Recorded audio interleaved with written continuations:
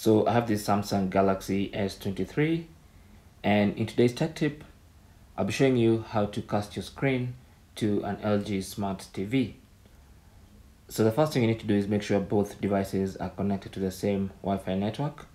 And then once you do that, simply scroll down on your Galaxy S23 and then scroll down again to reveal these shortcut icons and then swipe and look for Smart View. So here's Smart View, that's what it looks like. Tap on that and I'm gonna be connecting for the first time. So uh, you, sh you should see everything Smart View can do, show your phone on a TV, watch TV on your phone, high quality playback, all that stuff. So go ahead and tap on next, okay? Then tap on next again. Then now wait for your your Galaxy S23 to find devices nearby. So it found my TV, which I renamed to this name. That's my LG Smart TV right there.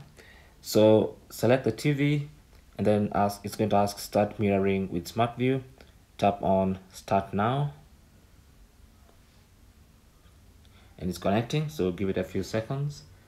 And on the TV now, you should see uh, this pop-up screen. It says uh, my Galaxy S23 Ultra requests screen sharing to your TV. Do you want to accept this request? Now at this point, simply pick up your LG Smart TV's remote and then uh, select accept.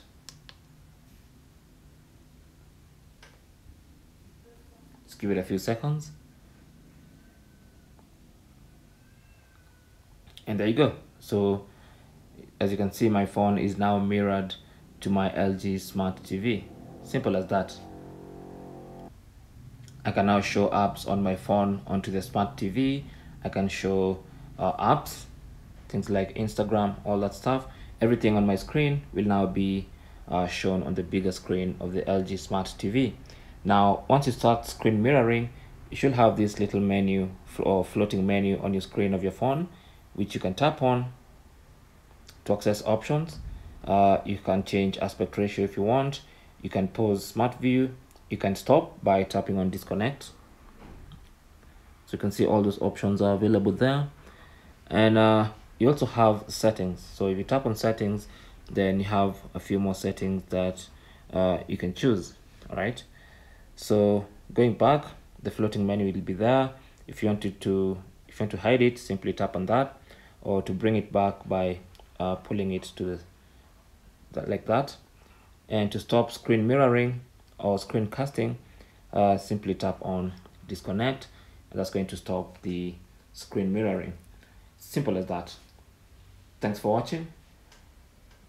Leave your comments and questions down below and good luck